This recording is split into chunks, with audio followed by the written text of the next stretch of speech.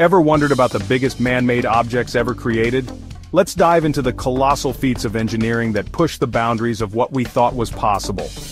First up, the Great Wall of China. Spanning over 13,000 miles, it's the longest man-made structure in the world, built to protect ancient China from invaders.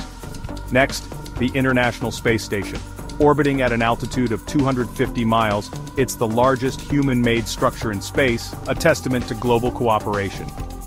And then there's the Perdido oil platform in the Gulf of Mexico. Standing over 2,000 feet tall, it's one of the deepest oil rigs ever built. Don't forget the Pioneering Spirit, the world's largest construction vessel, capable of lifting entire oil rigs.